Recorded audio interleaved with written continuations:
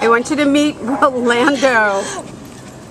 Well, Rolando's impound number is A five two zero seven two nine five. Um, Orla- Rolando is a male tan Chihuahua mix.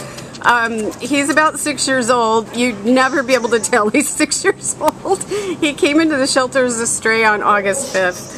Um, this is a crazy funny dog, Jana. Why don't you tell us about him? oh my gosh, he's really excited right now just because there's all these dogs around. But when it was just us, he was so cuddly and like affectionate. He wants to play with all of them. Just really wants to play with everybody. He's actually right now is he's on like hyper speed, but he's not always like this. Um, but at the shelter, they don't get out, they don't get walked because there's just you know a lot of dogs here. So once he's used to being out and saying hi to everybody, he will chill and he will cuddle and all that good stuff. Um, so um, Rolando is a Rolando, get it together, man. Hey, Roro. Roro.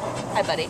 Um, so he's a spunky guy. He's got plenty of energy, but I think he, I think you have one of those dogs that uh, tuckers out pretty good and then we'll sleep with you for the afternoon.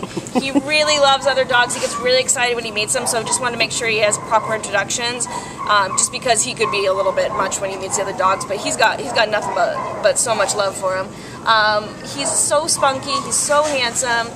He, he's very cuddly. Like right now, he's otherwise occupied. But when I first got him out, he just put his little arms up to me to, to pick him up. And. So he really, he really is a loving guy. But he just wants He has to go. butterfly. He has to go play. Hey, Boy, would he have fun at a dog park, Oh right? God, he's Mr. Social Butterfly. He's very gregarious. Okay, so you got to come down and meet this funny boy. His name is Rolando again. Rolando. Impound number A520-7295. Bye, Rolando. Go play. All right.